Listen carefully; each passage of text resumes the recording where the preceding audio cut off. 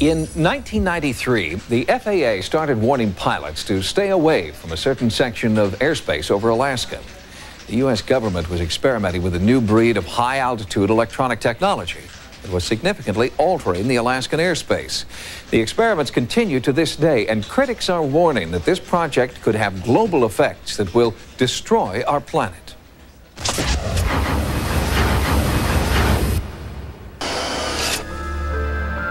In Alaska, the rugged, pristine wilderness is timeless, most of it remaining just as it has for thousands of years. In the midst of all this natural beauty, just outside the small town of Gakona, stands an enormous and seemingly harmless antenna farm. It is a $100 million Air Force project known as HAARP, and critics of the soon-to-be completed facility charge it just may turn out to be the ultimate doomsday machine. It's got all the marks of Dr. Strangelove on it. HAARP is an acronym for High Frequency Active Auroral Research Program. According to program manager John Heckscher, HAARP is a research facility designed to study the ionosphere. All the military have communications, surveillance, navigation systems uh, whose paths either traverse the ionosphere or reflect from it. And so we need to be very careful about we know about it and how we study it.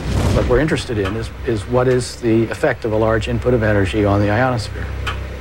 The ionosphere is the outermost layer of the Earth's atmosphere. It is part of an electromagnetic field that keeps out harmful solar and cosmic radiation. One visible effect of the sun's rays hitting the ionosphere is the aurora borealis, known as the northern lights. The ionosphere also plays a vital role in worldwide radio communication. The first transmission of radio waves across the ocean were quite a surprise when it was first done. People thought there'd be no chance to transmit signals across the ocean by wireless. And uh, in fact, what the ionosphere does is act like a mirror. And so you transmit a signal and it bounces off the ionosphere, then it bounces off the Earth. When HAARP is fully operational, it will transmit extremely powerful blasts of high-frequency radio waves directly up into the atmosphere, superheating the electrons that make up the ionosphere. This will cause them to disperse, effectively punching a hole in the ionosphere. But after you turn the instrument off, this thing kind of moves around and it gets replenished. And uh, within a few minutes, uh, it's back to where you can't even detect that there's a hole anymore. The Air Force says that manipulating the ionosphere and studying the effect will allow them to improve the efficiency of communications, navigation, and surveillance systems.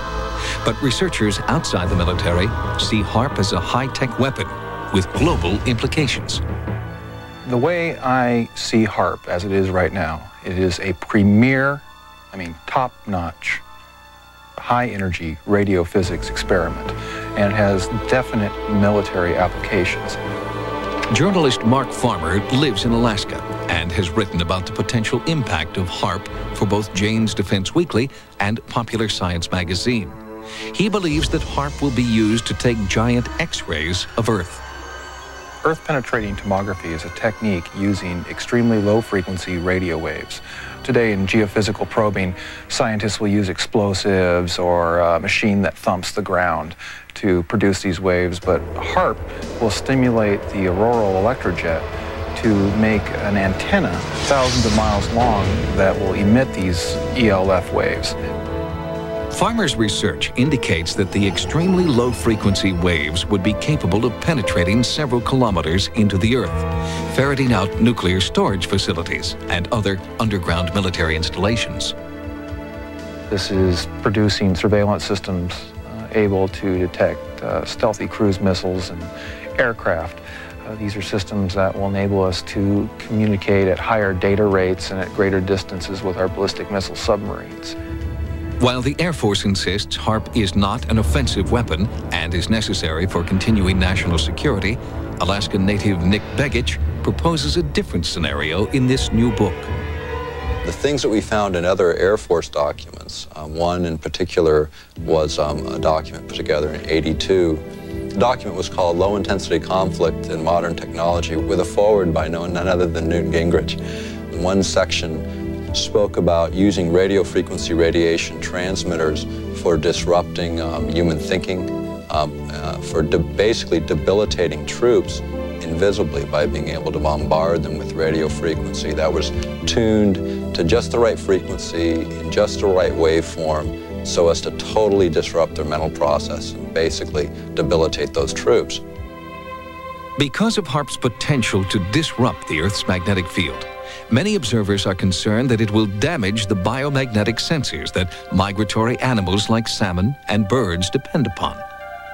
Anything that HAARP can do to the magnetic field is orders of magnitude smaller than the natural variations of the Earth's field. So I would have to say, no, there's nothing, nothing we can do to affect the salmon.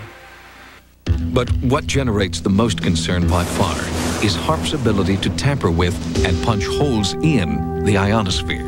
The thing that one of the um, Air Force documents points out is that they want to use um, this heater to create enough energy in the ionosphere to get a runaway effect up to the next stabilizing level, whatever that might be. It's precisely whatever that might be that worries Dr. Patrick Flanagan, a physicist who believes the ionosphere is extremely fragile. The ionosphere is a chaotic system that is on the edge of instability. So the trigger point for HAARP would be that energy and that frequency which throws the ionosphere into chaos. In other words, it would be that point which throws it over the edge. For example, it is believed that a hole in the Earth's ozone layer has caused an increase in infrared radiation, contributing to the melting of the polar ice caps and forcing New Zealand children to wear protective clothing to school. Flanagan and others believe the potential danger from a hole in the ionosphere is much greater. It could create a change in the ionospheric shield that protects us from cosmic radiation. Uh, we're worried about the ozone layer. The ozone layer is nothing compared to what HAARP could do. You know, we're worried about ultraviolet light. That's just a very harmless ray compared to some of those uh, energy streams or particles that are coming from outer space that are being deflected by this natural shield around the Earth. And this is what HAARP wants to play with. Critics worry that HAARP has been placed in the hands of too few, and that international debate is necessary to fully explore all the potential dangers that this project may soon unleash, a proposal in which the Air Force has shown little interest to date. Once we open this box, and it is a veritable Pandora's box, we're not going to be able to close it.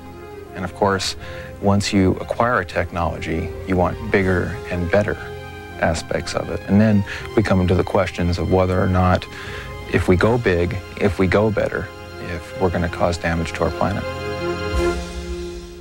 Proponents of HAARP insist the danger has been grossly exaggerated. The project continues to move forward as scheduled and will be fully operational by 1997. Next, they started an